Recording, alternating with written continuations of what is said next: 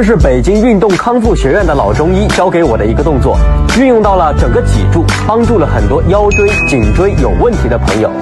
姐妹们，这是北京运动康复学院的老中医教的一个动作，运用到了整个脊柱，帮助了很多腰椎、颈椎有问题的朋友。姐妹们，如果你有腰间盘突出，压迫到神经，导致屁股疼、腿麻，那你就不要再划走了。这个简单的动作，每天重复左右五十次，就可以改善预防了。千万记得要在睡觉前练习哦。姐妹们，我儿子从小心脏就不是特别好，医生教给我们一个动作，从小做，他已经坚持二十多年了，现在身体各项指标都很正常。这个动作分享给大家。掌心自然向上与肩平行，同时向内收到胸前两侧，开始往下走，再往前伸，翻转相对，持续循环做两分钟。熟练之后加快速度。刚开始手臂酸痛是正常的，这个方法可以疏通手臂上的经络，增加肺气，打开心包经，调理心脏方面的问题。姐妹们，如果你非常忙，没有时间做锻炼。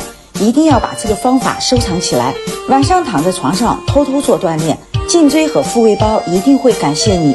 姐妹们，抬脚后跟每天三百下，你的肾气足了，人就变得长寿了，这是第一点。然后就是抓手，往怀里抓，抓的是阳气，一定要把手打开，用力抓，反复练习，肝血足了，人的身体就好了。不要着急划走，点个爱心，转发给家里的朋友。三个女性睡前滋养体式：靠墙十分钟等于跑步两小时。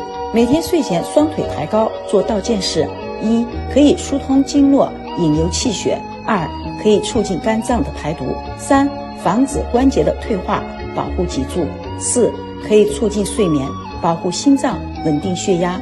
适合初学者练习的体式，保持三分钟。睡前醒来千万不要做这个动作，不然你会发现臀翘了。